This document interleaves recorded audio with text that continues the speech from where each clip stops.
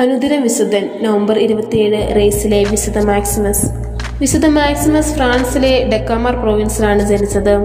തന്റെ ഇന്ദ്രിയങ്ങളെയും ആഗ്രഹങ്ങളെയും നിയന്ത്രണത്തിലാക്കുന്നതിനുള്ള പരിശീലനം ലഭിക്കുന്നതിനായി ഒരു ഏകാന്തവാസം തന്നെയായിരുന്നു അദ്ദേഹം നയിച്ചിരുന്നത്. അവസാനം അദ്ദേഹം ആത്മീയ ജീവിതം നയിക്കുവാൻ തീരുമാനിക്കുകയും അതിനു പ്രകാരം അദ്ദേഹം വിശുദ്ധ ഹൊണാറാറ്റൂസിന്റെ നിയന്ത്രണത്തിലുള്ള ലെറിൻസ് ആശ്രമത്തിൽ ചേരുകയും ചെയ്തു. നാനൂറ്റി ഇരുപത്തിയാറിൽ ഹൊണോറോറ്റൂസ് ആർട്സിനെ മെത്രാപോലിത്തയായി നിയമിതനായപ്പോൾ മാക്സിമസിനെ തനിക്ക് ശേഷം അടുത്ത പിൻഗാമി എന്ന ലക്ഷ്യത്തോടുകൂടി രണ്ടാമത്തെ ആശ്രമാധിപതിയായി നിയമിച്ചു. വിശുദ്ധ സിഡോണിയൂസിന്റെ രേഖകൾ പ്രകാരം വിവേകമതിയായ ഈ വിശുദ്ധന്റെ കീഴിൽ ആശ്രമത്തിന് ഒരു പുതിയ ചൈതന്യം കൈവന്നു.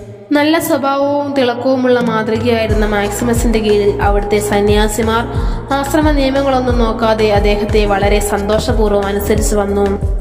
അത്ഭുതങ്ങൾ പ്രവർത്തിക്കുന്നതിനുള്ള അദ്ദേഹത്തിന്റെ ദൈവിക വരദാനം മൂലം വളരെയേറെ കീർത്തിക്ക് കാരണമാവുകയും അദ്ദേഹത്തിന്റെ ദിവ്യത്വത്തിന് ഇത് വളരെയേറെ സഹായകമാവുകയും ചെയ്തു.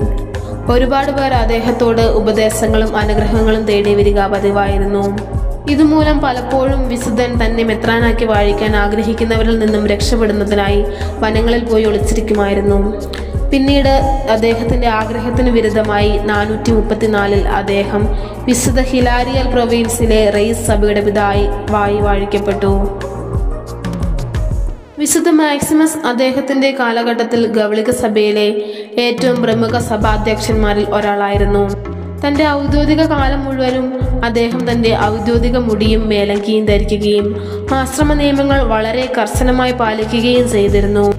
യൂസേബിയൂസ് എമീസെനോവിസിന്റെ ഇതായി തെറ്റായി വ്യാഖ്യാനിക്കപ്പെട്ട പല പ്രമോദനങ്ങളും പിന്നീട് മാക്സിമസിന്റെതായി തീർന്നിട്ടുണ്ട്.